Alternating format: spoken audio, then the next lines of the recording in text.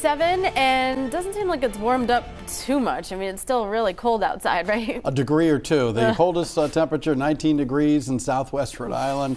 They're actually up a degree there in uh, Carolina. We're slowly going to warm up Yeah. today, but we're not looking at a major warm up.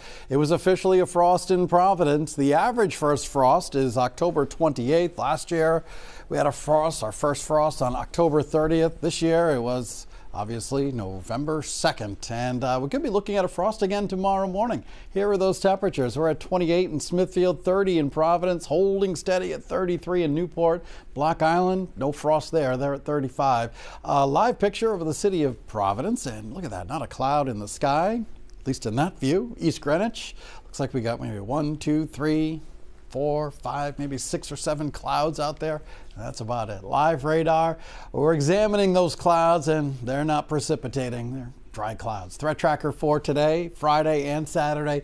Low chance of anything that's going to be overly impactful. Obviously, it's a little cold today, but other than that, uh, not a whole bunch going on. We actually have some lake effects, snow showers with the cold air blowing over the relatively warm water of the Great Lakes. Meanwhile, high pressure keeping things super quiet across the eastern half of the country, and that's going to continue through the daytime today and into tomorrow. So we're looking at sunshine for your Thursday, clear tonight, another cold night tonight. As we look ahead into tomorrow, we're looking at sunshine.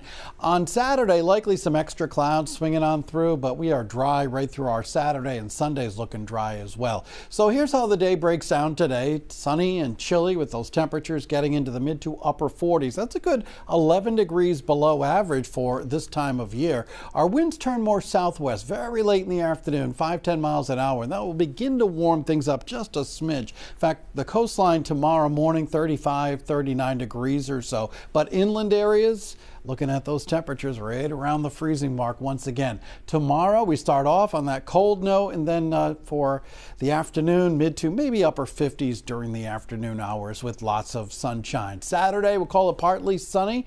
Uh, highs right around 60 degrees. Even the morning low not so bad, about 42. The whole weekend looking great. Uh, low 60s in the afternoon, low 40s in the mornings. We set the clocks back one hour Saturday night. Sunset on Sunday at 4:35 p.m. Monday's looking okay, despite that early sunset. 60 degrees, 61 degrees on uh, Tuesday. There could be a few showers around. I think most of those showers pass to our north Tuesday. There could be a late shower around on Wednesday. WPRI.com. That's where you can go for your updated forecast. You can also get it on our Pinpoint Weather 12 app. Melissa's here now to give us our final check of our Thursday morning commute.